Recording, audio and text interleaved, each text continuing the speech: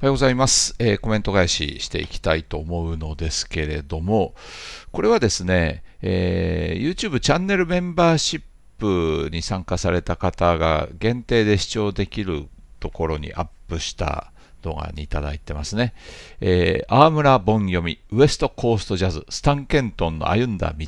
というタイトルの動画にいただいたコメントですが、えー、これ、たけし0506さんからのコメントですね、紹介します。このモダンジャズの歴史は、スイングジャーナル73年1月号から4年間に連載された記事をまとめたもので、1冊の本にするにはかなり削った部分があったようですけど、ケントンの項は13ページにわたっています。そうなんですよ。スタン・ケントンに関してはね、かなり力を入れてお書きになられてるなって感じました。で、私もですね、スタン・ケントンはとても興味のあるミュージシャンなので、まあ、量は多いなと思いながら何回かに分けて読んだ記憶がありますね。あ1回で読み切っちゃったかな？ウエストコーストのところが結構、あの、文字数というかページ数が多かったんですよね。で、まあまあ、えー、で、13ページに、でもケントンのところは、アームラさん削らずに、おそらく削らずに13ページにわたって、多分書かれたと思うんですよね。で、ケントンの名盤、New Concepts of Artistry in Rhythm がゴールドディスクに選ばれた時のディスクレビューで、アームラさんはこの辺りの経緯を少し語っています。初めから私事になって恐縮だが、本誌から出版された説著モダンジャズの歴史の中で、筆者はかなり多くのページをスタンケントン楽団のために割いた。常々全体のバランスには気を配りながら書いてきただけに、この成り行きについては自分でもまずいと思ったが、スタン・ケントンの音楽をこき下ろしたりすることが何か高級なジャズファンの資格でもあるかのような愚かしい風潮が単に我が国のみならず全世界的に蔓延しているような印象を受けたので連載時の書稿にあえて少ししかハサミを入れなかった。確かにスタン・ケントン楽団の残した作品の中には鬼面人を驚かす驚かす程のものが少なくなかったしそれらのかっこやや空虚な野心作までも含めてすべてケントン楽団の功績とせよと説くほどの気持ちは筆者にもない。それに正直なところ、疲れを癒す目的で音楽に耳を傾けた時など、ケントン楽団の演奏は、たとえその最良の作品であったとしても、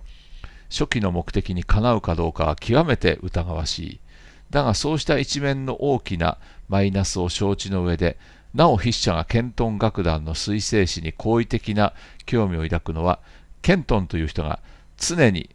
鑑賞のための音楽を求めて苦闘しながらその一方でダンスに楽しみを求めて集まる人々の気持ちにも十分応えうる能力を持っておりステージアクトやサイドメンに対する思いやりを含めて理想のハンドリーダーとでも、まあこれバンドリーダーでしょうね。バンドリーダーとでも呼びたいパーソナリティを備えたミュージシャンであったからである。で、えー、浜村さんの言葉を引用されてますね。で、えー、たけし0506さんからのコメント、えー、アームラさんはジャズ界を去ってから10年余り経った92年に黄金時代のスタン・ケントンという5枚組 CD セットの編集、解説を担当したりして、スタン・ケントンには強い思い出があったようですね。ニコちゃんマークというコメントを、たけし0506さんからいただいております。たけし0506さん、いつもありがとうございます。で、私はこのように返チン、変賃じゃない、変賃って、昔、少年マガジンかなんかで変賃ポコイダーってありましたね。まあ、どうでもいいですけど。えっ、ー、と、あれ確か長井号のアシスタントが書いてた漫画ですかね。変賃ポコイダーってね。まあ、すみません。えっ、ー、と、戻りますけども、えー、ケントンは前々から気になり続けていたミュージシャンの一人でした。昔、快楽ジャズ通信でケントンガールズをテーマに番組で特集を組んでも良いということになったので、これを機に少し勉強してみようかと思い、ケントン楽団のアルバムを買い込み、聴きまくったことがあるのですが、聴けば聴くほど正体不明というか謎が深まり、自分の中ではホワイト・エリントンというような認識になっています。まさに常に鑑賞のための音楽を求めて苦闘しながら、その一方でダンスに楽しみを求めて集まる人々の気持ちにも十分応えうる能力を持っており、というところですね、と。で、ジューン・クリスティ、アニタ・オデー、クリス・コナー、アン・リチャーズ、ジェリー・ウィンタース、ケイ・ブラウン、ドリー・ミッチェルなどの女性歌手を擁していった一方で、かなり実験的、かつ変態的な音楽もやっている。この振り幅の大きさが私の興味を刺激してやみませんでした。番組の特集テーマで、あくあ特集テーマはあくまでケントンガールズだったので、女性ボーカルに焦点を当てて曲を流したのですが、どうしても我慢できずに、はてな、ホラー映画にも使えそうなほど面用な You Go To My Head も流したものですと。で、えー、スタン・ケントの音楽をこき下ろしたりすることが何か高級なジャズファンの近くでもあったかのような愚かしい風潮を引用して、えー、そんな風潮があったんですね。アホですね。他者の価値を下げて相対的に自分の価値を上げようとする根性、そうすることによって少しでも自分の価値が上がったと錯覚する精神って私からしてみれば軽蔑の対象です。それと同様、自分の実力、実績、存在とは関係ないことを持ち出すことで、相対的に自分の価値を上げようとする根性も嫌いですね。例えば、知り合い自慢や親族自慢、小田陣太郎さんのてめえの女房を自慢するなという決め台詞が言わんとしていることはきっとそういうことだと思いますが、自分に自信がない人の、えー、所業だと思います。自分のしょぼさ、自信のなさを無意識に自覚しているからこそ、虎の意を借りる狐に陥っちゃうんでしょうね。一岡仁さん的に言えば、どしがたき精進であるということになるのでしょうって、えー、コメント返しをさせていただいておりますけど、まあ、ケントンはね、私、まだまだちょっと謎の多い、まだまだちょっと、まあ、謎が多いってただ勉強不足なだけなんですけどね、でもね、ちょっと憧れのミュージシャンなんですよね。憧れっていうとちょっと変なんだけれども、要は、もし来世に生まれ変わることができたら、ぜひ私はスタン・ケントンのようなミュージシャンになりたいですね。まあ、今世でも私はですね、どうやら音楽の才能がないんですよ、全く。まあ、センスもないしね、気楽演奏のそういう反射神経もないというね。だけど音楽は好きというね、あれなんで、まあ、もし、あれですね、生まれ変わったらですね、なんて松田聖子みたいなこと言ってますが、違うか、まえー、もしね、こう来世では、もし今世、来世とかそういうのが前世とかあるのであれば、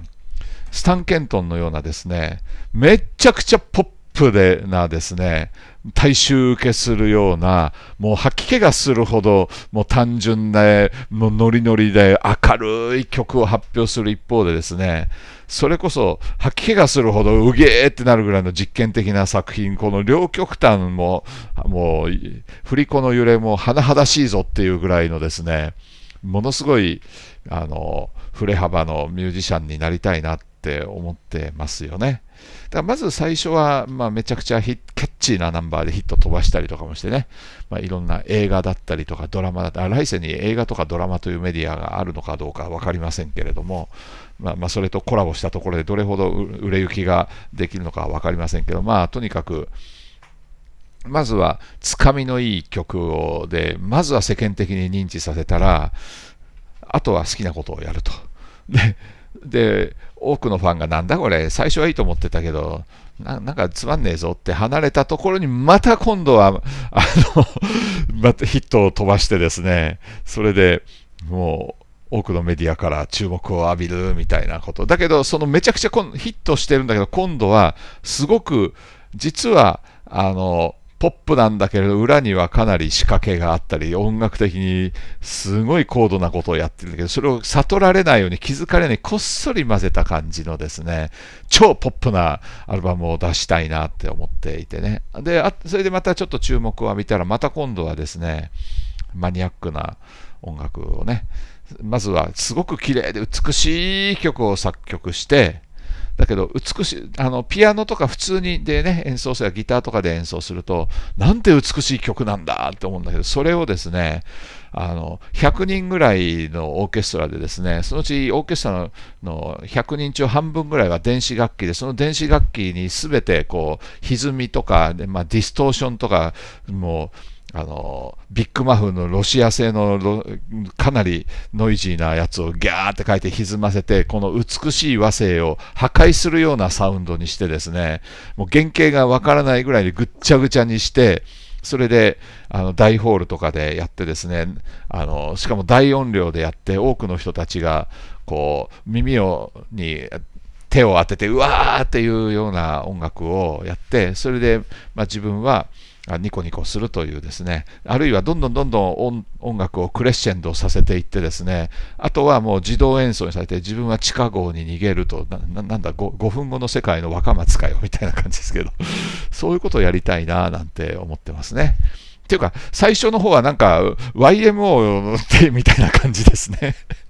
まあ結局そっちの方に私は戻ってっちゃうのかなと思いましたけど、まあ、だからね、キャッチーさと、キャッチーさの中に混入する毒みたいなものが巧みになれ、ね、な音楽家に本当に来世はなりたいですよね。まあ実験ばっかりだとつまんないし、かといってキャッチーばっかりだと、まあ、なんか頭がクラクラして、ほわーんってなりそうなので、うまくバランスを取りながらですね、でもまあ、その前に、まずはいい曲書けるような、まずセンスがないとダメですよね、やっぱね。その辺のセンスはもう私、全くないので、その辺は、まあちょっと、亡くなったらあの世で一回修行をして、それで、まあ、そのあの世で修行した成果がまたこの人間社会でにこううまく生きるのかどうかは分かりませんけれども まあ来世こそはですね偉大な音楽偉大というか別に偉大になりたいとかなりたくないとかそういうんじゃなくてまあ、多くの人々の感情を魚です、良くも悪くも魚でしてですね、で、ある時はあのスライムになるぐらいまでとろけさせて、もうある時はぐわーってですね、全身がもうサブイボ状態になるぐらいの鳥肌的なあの変態サウンドをですね、出すようなミュージシャンに生まれ変わりたいと思ってるんですね。で、割とそのイメージに近い人がね、スタン・ケントンなんですよ。っぱりね、この人面白いっていうか、マッドサイエンティストである一方で、やっぱり、まあ、もしかしたらあれですよね、秋元康、音楽ができる秋元康の走りかもしれませんね、あるいはあのツンクの走りかもしれませんね、まあ、いわゆる多くの人たちからが注目を浴びるような女性歌手を擁してですね、それでそういう楽団を率いて、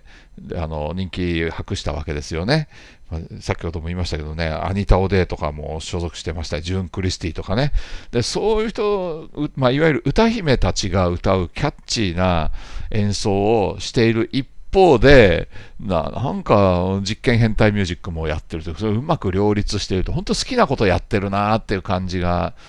とても羨ましいですよね。だからまあ、まあ、秋元康の場合は作詞なんで音楽は作ってないですけどね、多くのミュージシャンたちから送られたデモテープを選んだりとか、それに歌詞を乗っけたりとかもして、まあ、AKB 時代とかは歌作ってたみたいですけども、まあ、歌詞作ってたみたいですけどね、まあ、つんくの場合なんかは、まあ、自分で曲作ったりとかもして、モームスに歌わせていたりとかもしてね、だからまあちょっとモームスにしても AKB 系にしてもちょっと女性の人数は多そうなんで別にあの女性でお客さんを釣るというよりは、まあ、やっぱりメロディーとかね作曲とか音楽性とか、まあ、キャッチーなメロディー、キャッチーなリズムとかですね、それでやっぱり多くの人たちを魅了したいなという願望はやっぱりあるわけですよ、来世は。だけど、これこそセンスですよね、素敵なメロディ、素晴らしいメロディ。まあ、そのメロディー生かすも殺すも、まあ、ジャズの世界だと、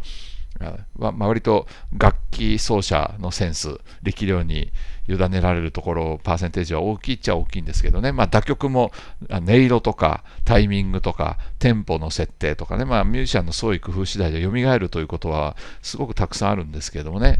ぱり作曲家になりたいのかもしれないですね、将来的にはね。で、まあ、その自分の作曲したものをちゃんとプレゼンテーションできるぐらいのピアノの腕みたいなのは欲しいかななんては思ってはいますけどもね。まあ、来世来世と言っておらず、今世も練習せいやと自分で自分のことをこう思うんですけど、何しろ、そんな暇なくてね、かろうじてね、暇のある時にシコシコ、シコシコとね、ちょっとした、あ、30分時間あるからもう録音しちゃおうなんてね、いう感じで、まあ、日々、こう、YouTube をですね、こう時間の隙間を見つけて、まあ、とりあえず喋るだけ喋って、で、また時間の隙間見つけてね、ちょっと電車の移動中は、まあ、あんまり最近は本読んでるので、あのパソコン開かなくなりましたけど、居酒屋とかでビールちびちび飲みながらね、あの飯食ったりしながら編集したりとか、まあ、編集っていうほどかっこいいもんじゃなくて、まあ、要は、あの、インターネットのつながる店で、まあ、昼間はコーヒー。で夜はビールとかね焼酎とかウイスキーを飲みながらなんか使えそうな素材フリー素材の写真画像をダウンロードしてでそれをペタペタ貼り付けてる作業とかはしてで、まあ、こまめにそれを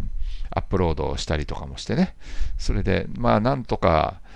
あの毎日続けるような感じを保っているような時間の使い方でもういっぱいいっぱいなんでね、なかなかそう楽器練習とかね、まあ、それ言い訳ですね。まあ、自分でそういうの作れやって感じ。っていうか、あの、成長日記みたいなものを動画でもう作っちゃうってもいいかもしれません。はい、今日はドレミファソラシド弾いてみましたって、ああ、指つっかえちゃったね。やっぱ練習が必要ですね。なんていうの。日々少しずつそれをネタにしてですね、やってみるのもいいかもしれませんね。では、シージャムブルースを弾いてみましょう。そうそうそうそうそう、さすがに2音だったら弾けるぞ。じゃあ、同じブルースでももうちょっと難しい、あの曲をやってみましょう。ああ、指つっかえた。なんて、誰がそんなに付き合うかって感じになっちゃいますけどもね。だから、まあ、やっぱり、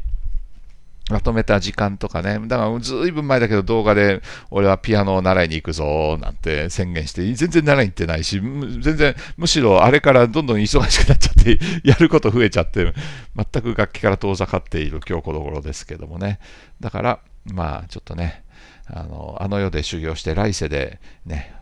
ケントンのようなミュージシャンになりたいななんて思ってますけど何を言ってんだって感じですけどもね、まあ、とにかくですね、まあ、スタン・ケントンは非常にねあの興味の尽きない鉱脈なので、まだ私、全然全然掘り尽くしてないんですよ。だから、ま、老後にでもゆっくりとも、その、ア村さんの5枚ボックスセットとか聞きながら、ケントンに浸ろうかなと思ってはいたりするんですね。来世の準備にね。みたいな。まあ、それと同時に、他にも、いろいろと、まあ、スタン・ケントンのですね、アルバムもゆっくり聴く時間、機会をね、持ちたいなとは思ってはいるんですよ、一応はですね。あとは、まあ、私にとってまだ未開拓というか、興味は尽きないんだけども、音源集め出したらキリがないぞというのにね、あの、ジャズじゃないんだけど、あの、フランク・ザッパーなんかは割とすごい気になってるんだけど、まだ全然掘り尽くしてないというかね、時間があればちょっと浴びるように一日中聴いてみたいミュージシャンの興味ある一人ですよね。あで、まあ、とはいえね、まあ、スタン・ケントンで、じゃあ、こんなにケントンになりたい、ケントンっぽいミュージシャンになりたいって言ってるお前は、じゃあ何が好きなんだって言うと、ちょっとごめんなさい。めちゃくちゃベタなんですけど、私はやっぱニューコンセプツ・オブ・アーティストリー・イン・リズムが好きです。っていうか、よく聞いています。まあ、これだったら、まあ、割とすんなり聴けるんじゃないかなと。まあ、ウエストコーストジャズに興味ある人、まあ、好きな人だったらね。例えばほら、リー・コニッツとかも参加してるしね。あと、リッチ・カミューカも、あの、テナーサックスですね。まあ、温かなトーンのテナーサックスの人ですけど、そういう人たちも参加しているので、まあ、聞きやすいんじゃないかなと思いますよね。えー、だから、まあ、18人のオーケストラなんですね。で、結構、まあ、えぐいことやってるようでいて、意外とほら、ミュージシャンたちがみんな腕利き揃いというか、まあ、みんな、なんていうのかな、バランスよく演奏してるというか、まあ、バランスよい演奏になるようなアレンジ、あるいは指揮だったりもするので、そんなに違和感なく聞こえるんですよね、聞けるんですよね。まあ、日常的に愛聴してるかというと、そういうわけでは全然ないんですけれども、まあ、アーティストリーいいですよ。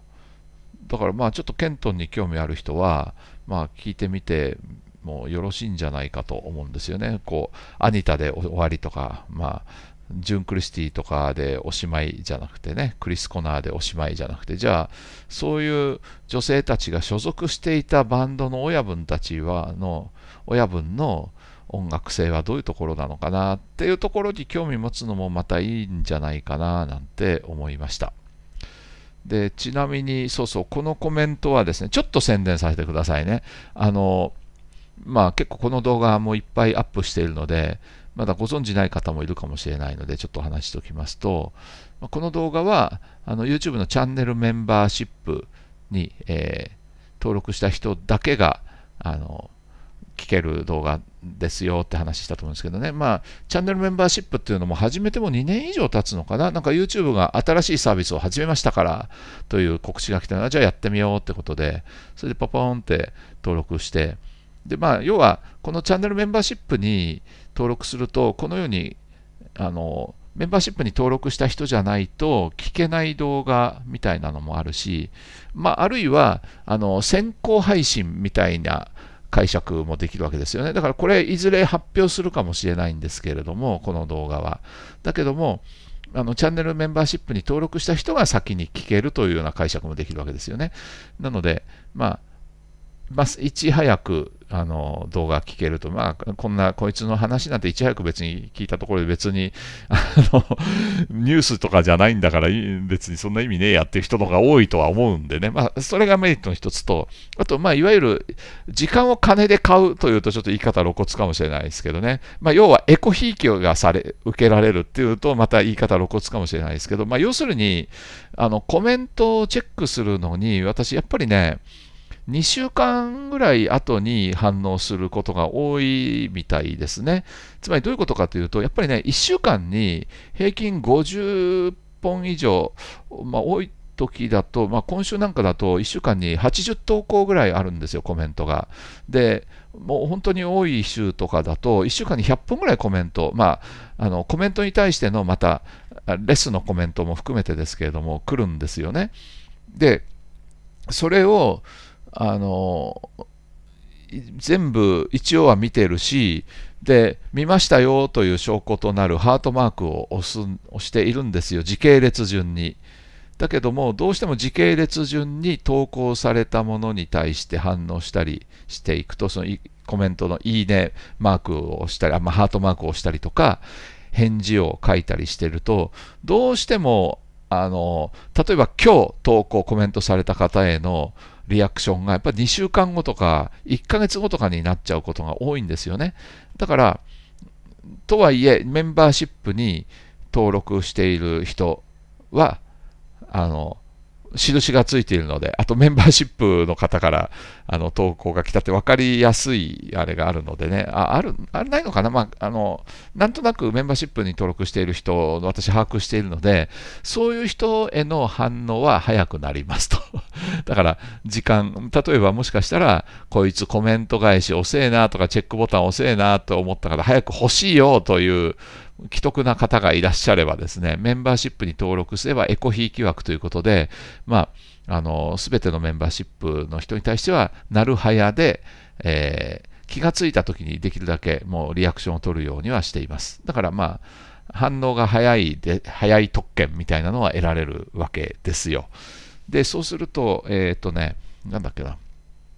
あの、そうそう。4つか5つに階級が分かれて、階級って言うと変ですけれども、それによって料金が分かれているんですよね。えっ、ー、と、バロン、あと、カウント、デューク、キング、4つに分かれてるのかな？で、これも YouTube のデフォルトそのまま名前変えて使ってるだけなんですよ。確かバロンが300円で、その500円、700円とどんどん高くなっていって、1000円ぐらいかな。まあ、これ YouTube がね、こういう値段がおすすめですよって来たので、そのまま、あ、そうですかってね、そのままの値段で登録して、あ名前だけバロンとかキングとかいろいろ変えただけなんですよね。それで、後で値段変えればいいやと思ってたら、後で気がついた。変えられなかった、もう最初の初期に値段を設定したら、あの、もう二度とだから一番最高級のキングの値段1万円なんですいくらでもちょっと1万円高いかなと思って、もうちょっと安くしいよって、どこで設定し直すんだと思ったら、あのメンバーシップ初期に設定した価格は変えられませんって出て、うわー、まあ、以下1万円、中には既得な人もきっといるだろうからね、ってその1万円を、例えばもしオフ会やった時とかのね、あの酒代にすればいいと思うし、飯代とかにも、の足しにもなるだろうし、さらには、えー、ね、もしどこか、ちょっと私が住んでるところの遠くでオフ会やるときの場合であれば、あれにもなるわけだからね、交通費にもなるわけなので、そういうものの資金にはなるなと思って、まあ、キングとかの登録している方とかほど、ま、優先的に、例えばオフ会でメンバーを呼ぶときとか、集めるときで絞るときの優先、これもエコひいき枠ですよね。あの登録してない人よりは登録している人の方が優先、優遇されるという感じにはしているんですね。そうやってちょっと差をつけていかないと、ちょっとコメントの反応の速度だったりとか、そういうのがどうしてもね、滞っちゃったりとかもしてるので、まあ、あの、いろいろと、ちょっとね、優劣つけて、無料の人は、まあ、その、まあ、無料なりにと、で、有料に、で、お支払いいただいてる人は、まあ、いろいろな形で優遇いたしますよというような、あの、制度というかシステムを使わせていただいてるんですね。それがまあチャンネルメンバーシップなんですよ。で、会員になった人はバッジがつくんですね。で、バッジっていうのが、あれです、あの、投稿者、コメントを投稿した時の投稿者の名前の横に、なんか赤だったり黄色だったりとかそういう色のバッジがついていると思うんですけども、そのバッジ、ちっちゃなアイコンがついている人が、あれですね、メンバーシップの登録会員の方ですね。で、まあ、そういう人でのコメントにはなるはやで、で、あの、私の心の中で一人だけいるんですよ。あの、名誉チャンネルメンバーシップ会員という人がいらして、まあ、それサンジョルディさんなんですけど、まあ、サンジョルディさんだけは例外的に投稿があったら、他の方を差し置いてでもちょっと優先的にですね、あの、なるはやで反応は、リアクションはさせていただいてるんですね。なぜなら、彼は、まあ、彼女かもしれませんし、あでも、まあ、もしかしたら、こう、情報思念体で、こう、性性というものを持たぬ人かもしれませんけど、まあ、いずれにしても、このサンジョルディさんという方は結構この動画のネタを提供してくださってる人なのでね、間接的にかなり収益にも貢献してくださっている方なので、やっぱりこれは優遇せんとあかんなと。だから名誉チャンネルメンバーシップ会員ということでですね、例外的にあのサンジョルディさんは、あの、会員じゃなくても割と早めに反応はしています。というような差別化は一応図ってはいるんですけどもね。なので、まあ、もしですね、まあ、別にこんな私ごときから早く反応をもらったところで何も人生いいことないんですけれども、それでもなんかちょっと早く反応が欲しいぞという方は、まあ、チャンネルメンバーシップとかにね、登録してくだされば、割とできるだけ早めにあの反応するようにはいたしますので、まあ、ご検討いただければと思います。ということで、えー、っと、宣伝はこれまで。で、もうちょっと紹介しましょうかね。えー、これは2024年の1月の下旬ですね。最近好きなギターの音色というタイトルの動画にいただいたコメントを紹介しますと、えー、っとですね、多分ね、よヨラ天狗とか、あと、リオネル・ルエケとかがいいよっていうことを話した動画だと思うんですけれどもね、えー、その動画にいただいた J さんからのコメントですね。アフリカの香りしますね。全身ジャズ J というコメントです。J さんコメントありがとうございます。で、私はしますねと反応しています。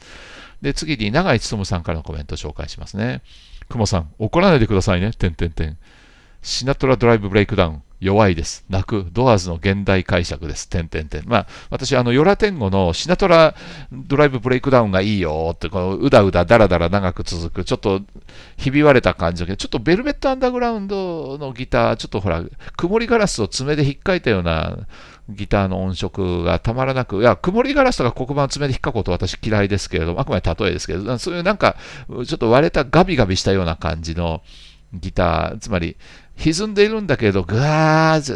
ーじゃなくて、ガッてガリっていう感じの、もうちょっとソリッド感のあるね、歪んだ感じのギターの音色がとても魅力的なんですよね。で、まあ、そのだけども、まあ、その音色がいい、で、うだうだうだうだ長く続く、そのうだうだだらだらも結構私好きな人なんで、いいなと思ってたら、えー、長井さん的にはちょっと響かなかったみたいですね。で、例えば、私の高校の頃の80年代はパンクムーブメントだったんです。点々。セックスピストル、図。で、図が図鑑の図になってます。図書館の図になってますね。で、ストラングラーズ。で、ラ、ストラングラーズのラ、ラが、ひらがなになってますね。で、クラッシュ。強烈でしたよ。うん。まあ、この人たちはみんなインパクトですもんね。だから、ヨラ天狗のようにこう、うだうだだらだら、少しずつ少しずつ積み重ねていきながら情感を高めていくタイプじゃなくて、一撃必殺的な感じなので、なんかちょっと、まあ、比べる訴状対象が違うような感じがしますけど、で、まあ、で、足はまだバカみたいにパープルとセッペリンをコピーしていたんですが、えー、ライブで共演した、えー、名古屋のパンクバンドのギタリストは、皮膚と T シャツを安全ピンで止めていたんです。痛い。皮膚と T シャツを何？安全ピンで止めていて、それは痛いわ。覚悟が自分にはないなぁとつくづく感じました。てんてんてんてん、笑い笑い笑い、汗水たらしにこちゃんマーク3つでした。で、で、くもさん怒らないでねって書いてあったから、怒ら変態って書いてますけどね。もちろん、怒ら変態っていうのは、えー、あれです。変態は、あのーストレンジピープルの変態を漢字で書いてますけどもね、なんかほら、関西弁となんか九州弁が混ざったような感じですよね。こう怒ら変態なんて言うとね、言葉で言うと。でまあ、怒りませんよと書きました。でも、まあ、クラッシュもいいけど、トーキングヘッズなんか私好きでしたけどね。永井さんも多分好きなんじゃないかななんて思いましたけどね。えー、で、次、えー、人力飛行機さんからのコメントですね。今回もギター特集、音源ありがとうございます。もちろん知らなかったので助かりますと。2音源あったんですが、後者の方、ヨラ天狗の方がピンときましたね。よく聞いていると、マイルスと共演した時代のマクラフリンみたいなアルペジオがあったり、音色も似てたり、あれ？このギタリストってマイルス時代のマクラフリン好き？と思ったか思ったり、マイルスのデュランでのノイジーなギターに共通するものがある。それでデュランの動画が貼られていて、で、このシナトラドライブブレイクダウン、どっかこういう感じ聞いたことがあると思い返すと、映画羊たちの沈黙でバッファロービルというあだ名をつけられた猟奇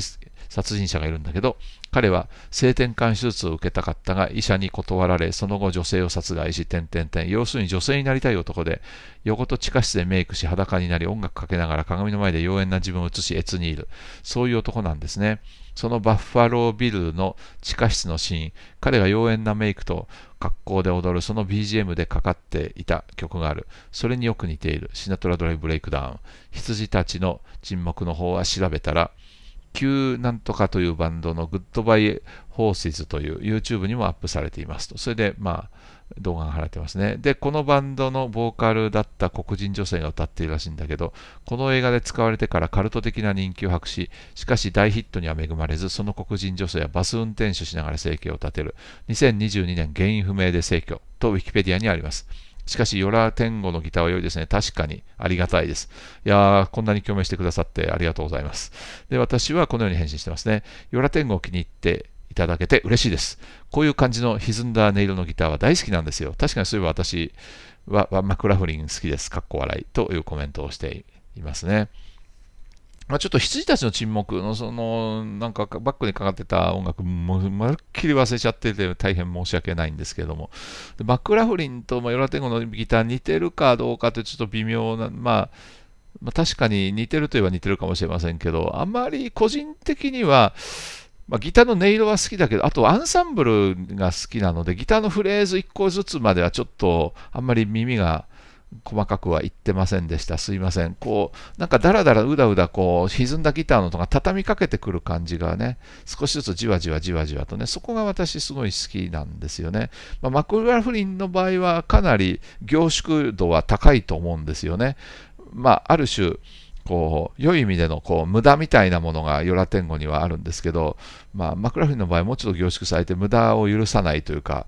もう、なんというか、きちんともう一小節ごとに何かこう意味を持っていると持たせているというそういう感じはしますけれどもね。まあそれはアプローチの違いなのかな。だ聞いた時の肌触りは同じものを感じる人は感じるのかもしれませんけどもね。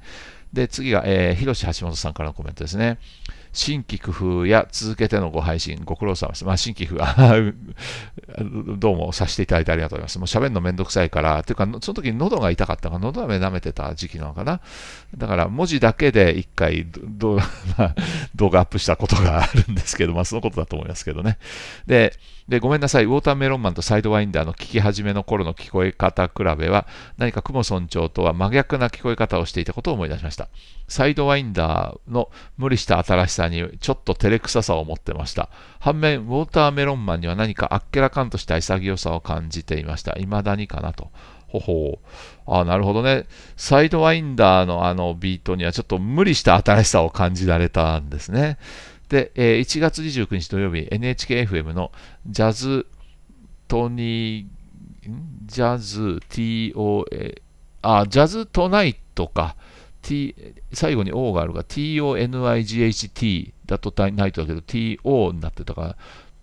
トトナイソ。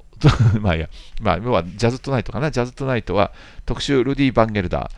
去年の3月に放送されたものの再放送ですが、聞き逃し機能で2月4日の AM11 時まで再聴可能です。未聴の方には今週のおすすめです。すいません。あの、先ほどお話しした通りですね。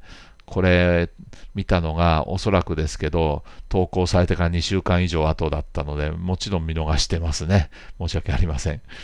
えー、広瀬橋本さん、いつもありがとうございます。で、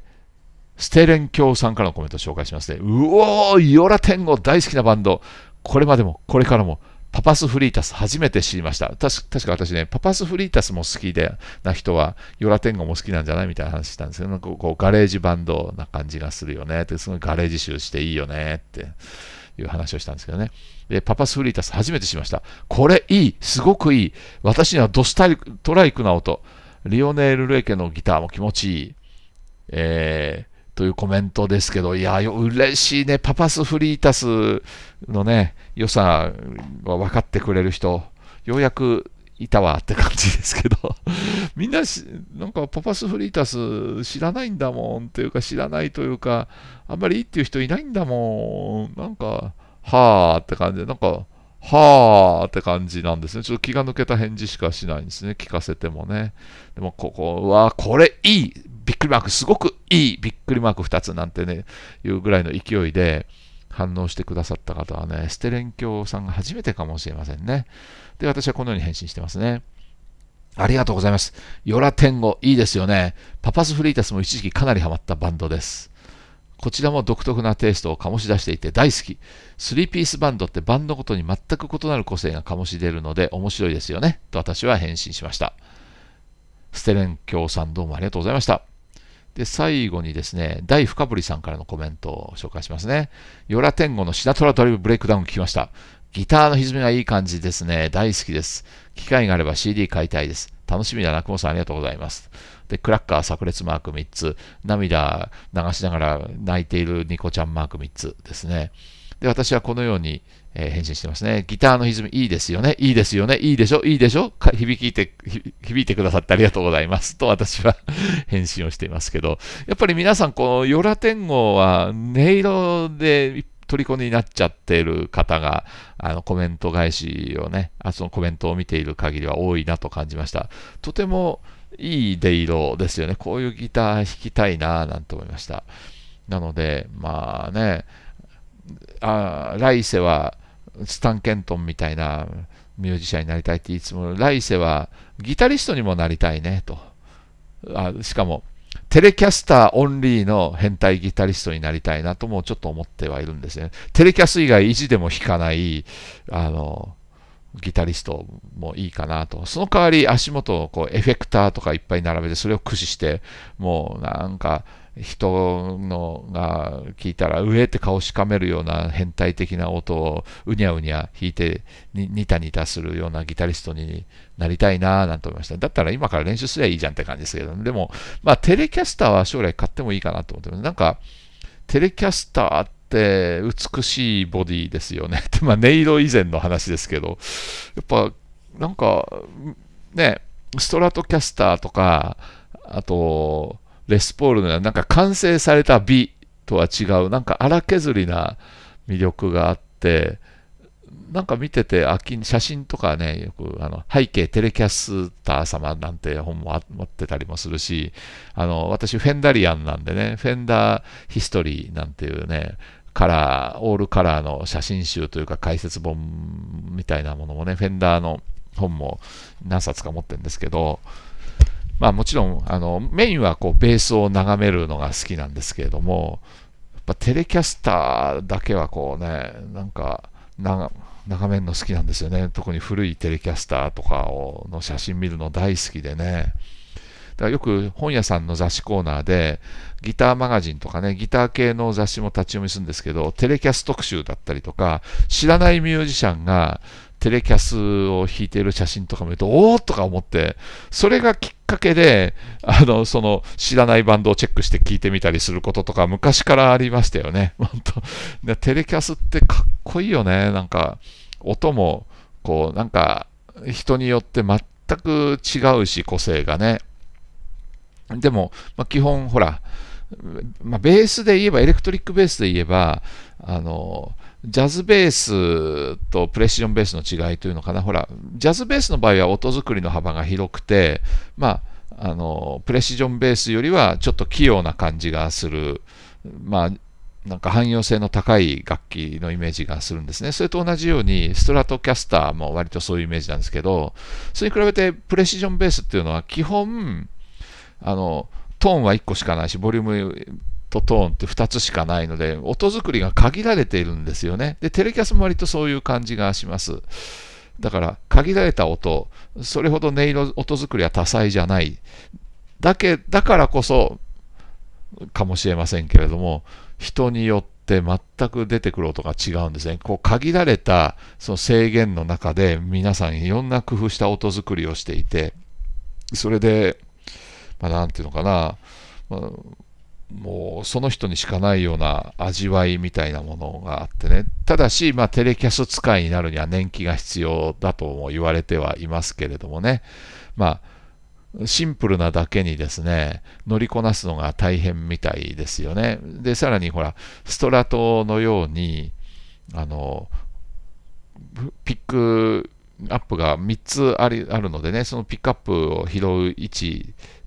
あの言語のこの振動もフロントで弾くのとリアで弾くのと、あるいはフロントで拾うのと真ん中で拾うのとリアで拾うのと音色が全然違うので、その拾う位置だったりとか、それをブレンドしたりとかすることによって音作りが多彩になっているんだけど、逆にこの多彩な分、それに振り回されちゃったりとかして、セッティングに悩んでしまうぐらいだったら、だったらもう男一本トーンとボリュームだけじゃいの方が潔くてよかったりとかもする。そういうところで結構個性って出るような気がするんですね、逆にね。だから私も、まあもちろん、あの、ジャズベースとか、あの、プレシジョンベースとか、いろいろもう何本も買っては売り、買っては上げって感じですけれども、で、同じ本数ぐらい、でもまあ、ジャズベースは10本ぐらいに対して手で、プレシジョンベースは6本か7本ぐらいかな、いろいろ買い替えたりしてるのはね。ちょっと比率的にやっぱり汎用性の高いジャズベースの方が多いんですけれども、もっとかもね、ジャズベース12 5 4、5本ぐらい買ったり売ったりしてるかもしれませんね。でまあ、その半分ぐらいか、7本か8本ぐらいか、プレシジョン。でも結局ね、あの、プレシジョンの方方が家で弾く頻度が最近高いんですよ。なぜかというと弾きにくいからなんです。ジャズベースの方が弾きやすいんですよ。このボディのバランスだったりとか、ネックのあれとかでね、握りやすさとかでね。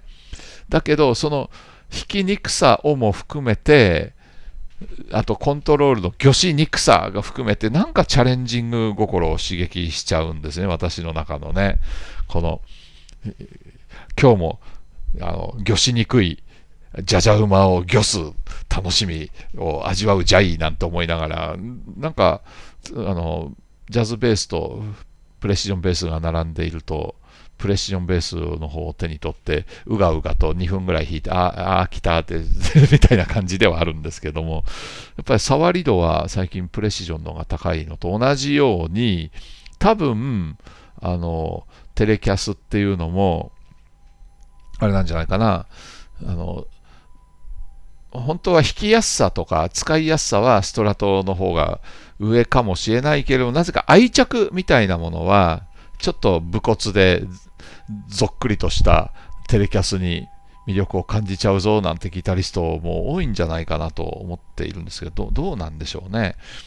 なので本当テレキャスって美しいよね。見ててかっこいいよね。だからとはいえ別に私はギター弾けないので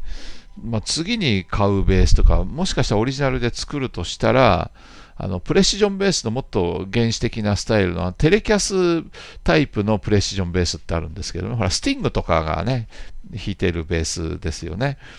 本当になんかデザインがもう昔っぽくて古っぽくて可愛いデザインのテレキャスベースなんですけれどもこれだけどすごい中低域がぶっとい音出るあれなんですけどねベースなんですけど今度はねテレキャスベースなんかをオリジナルであの、くもちゃんベースで作ってもいいかななんては思ってますしね。あと、まあ、広橋本さんからも、作れ作れってなんか促されたりとかもしているのでね。もしかしたらこう、なんかニトロセルロースラッカー塗装でわざとこう練習しているうちに塗装が剥げ落ちて、で、そヴィンテージな味わいが出るような感じで、の指定で作ってもらうのもいいかななんては思ってはいますけどもね。まあ、とはいえ今、結構私今ノーブランドのですね、まあ、楽器屋さんが余ったパーツをうまく組み合わせて作ってくれたオリジナルのプレシジョンベースが結構気に入っていてですね、その弾きにくさも含めてですけど、あと音色の武骨さ、融通の効かなさも含めて気に入っているので、しばらくはこれで、まあ、エレクトリックベースは行きたいなと思ってますけどもね、まあオリジナルのフレットレスベースもまあ、弾いてはいますけども、ちょっとまだ、今はちょっと封印しているというか、あんまり触ってないですね、最近はね。で、まあまあ、そういうことで、もうテレキャスはいいですよねっていうところで、今回の話は落ち着く感じですかね。まあ、こうよくね、コメントくださる永井勉さんは、私の頭の中のイメージだと、すごくストラトキャスターが似合う男というイメージなんですけれども、どうなんでしょうね、テレキャスとかもお持ちですか？引かれていますかでテレキャスにはどういう思いをお持ちですか？もしあの何か思うことあればですね、テレキャスに対して、まあ、お書きになって くださると嬉しいですけど、まあ、皆さんどうなんですかね、テレキャスターとかどれぐらい好きなんだろうかね？と。